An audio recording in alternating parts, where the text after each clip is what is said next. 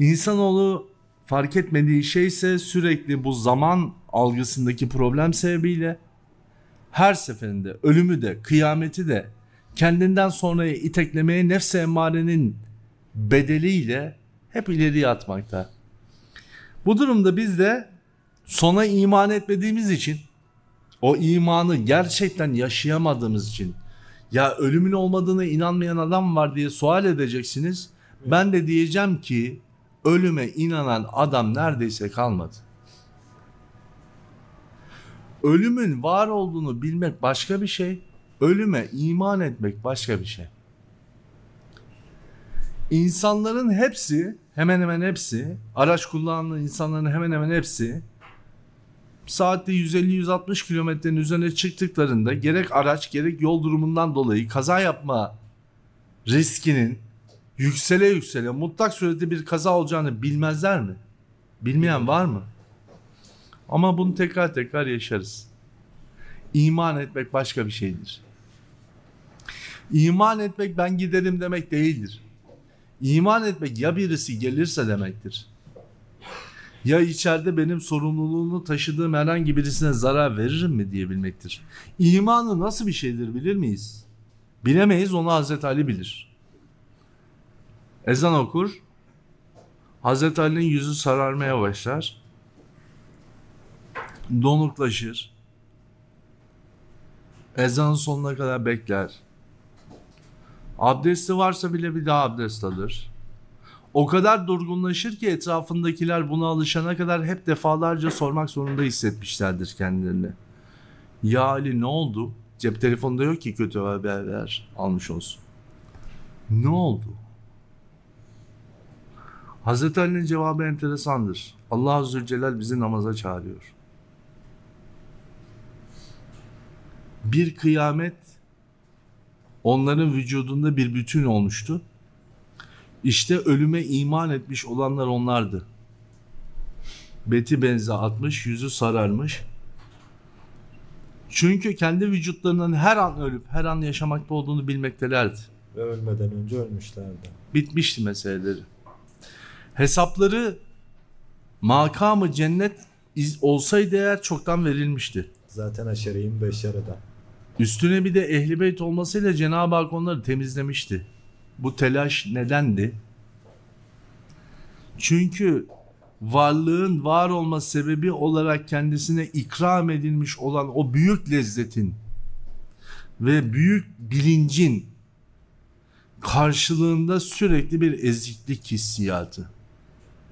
Yani en kaba tabirle anlatmak gerekirse istediğiniz kadar sizi seven bir insana misafirliğe gidiyor olun ve istediğiniz kadar rahat ediyor olun. Karşınızdaki size ihtimam gösterin gösterdikçe bir hani eğilip bükülme olur ya. İşte bir akşam yemeğine davet diye gidersiniz ama bir sofra sizi şaşırtır. Karşılama sizi şaşırtır. İşte ne bileyim evin düzeni vesaire eyvah dersin ya ben şimdi burada misafir miyim? Nasıl Mahfiyet çıkacağım? hissi. Şimdi gençler şöyle düşünün. Allah Zülcelal bize soruyor, seviyor mu diye bir sual etseniz Cenab-ı Hakk'ın yeryüzündeki en kafir adama bırak Müslümanı, münaf, şu bu bir kenara koyalım. En ehli küffar olan adama verdiği ikramın adedini yazmaya, adedini rakamsal olarak yazmaya ömrümüz yetmeyecek.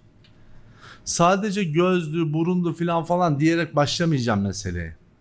Etrafındaki hayatı, o hayatın dizayn edilişi, her an her saniye ona kefil olunmuş olan rızkın ulaşması için bütün olaylar silsilesinin ona göre tanzim edilmesi, dünyada ve bütün alemlerdeki her varlığın ona hizmet üzere yaratılmış olması, sivrisineğinden börtü böceğine kadar şaşmaz bütün alem sana hizmete gelmiş.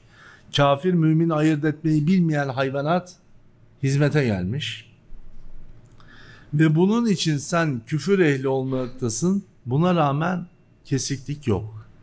Bir an dahi yok. Çünkü Cenab-ı Hakk'ın ikramı ilahisi bir an dahi kesilse nefes almaya imkanınız yok. Ve Cenab-ı Hak bunu vererek Müslümandan emre ilahidir ki tek hakikat bunun farkında olması. Çünkü kendisini de Bakara'yı 255. ayet kerimede kendisini izah ederken bizlere şöyle buyuruyor. Ayet-el Kürsü'nün başı hemen hepiniz okuduğunuz ezbere bildiğiniz o sure-i şerifinin başı Allahu la ilahe illa huvel hayyul kayyum Allah'tan başka ilah yoktur ancak ilah odur. Hayat sahibidir. Bütün varlığı ayakta tutandır. Kayyum. Kıyam. Peki sen neredesin diye sual ediyor Allah Azze ve Celle. Bütün varidatı ayakta tutuyorum. Kendi hayatımı göstermek için değil, seni hayatta tutmak için. Buradaki hayat Cenab-ı Hakk'ın hayatı verdiğinin sahibiyetidir. Yani bizim hayatımızın sahibidir. Her şeyi bizim için ayakta tutmuştur ve bir gün ayakta tuttuğu her şeyden çekeceği bir şey var.